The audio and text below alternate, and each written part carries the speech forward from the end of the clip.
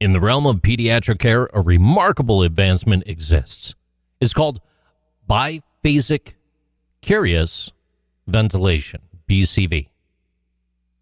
For young children whose delicate respiratory systems are still unfolding, this method offers a beacon of hope and healing. Imagine a child with lungs so tender and they're in need of precise care.